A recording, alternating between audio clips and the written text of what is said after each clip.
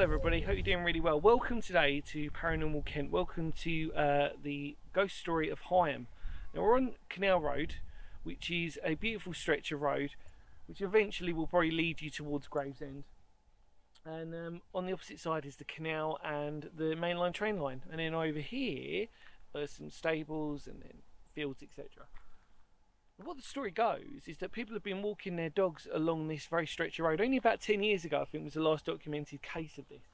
What they noted was that there was a strange man standing on the side of the road, and he sort of had this like military uniform on, and um, he was just standing there, not really engaging with anybody, just literally just standing there. And on one instance, somebody who was walking their dog went up to this person, and as they went up to them, he literally disappeared right in front of them. But on every single occasion, it's been noted that this person's been wearing some form of military uniform.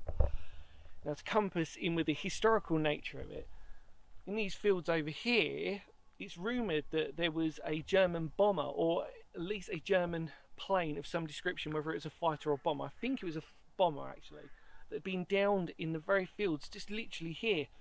And what they reckon is that the person that they're seeing is actually one of the pilots from that plane itself.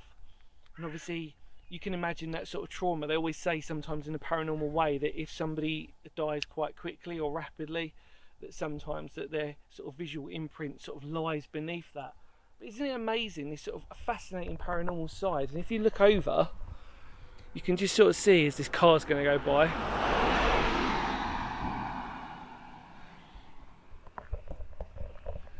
It's a very popular place. It's a very popular road.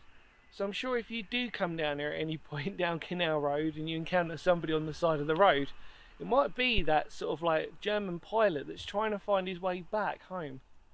And that beautiful story in a strange way, the fact that we can potentially tie up the encounter with actually some historical record. So there you go. Any more words of Phoenix history? Thank you so much for watching and I will see y'all very soon. Take care for now. Bye.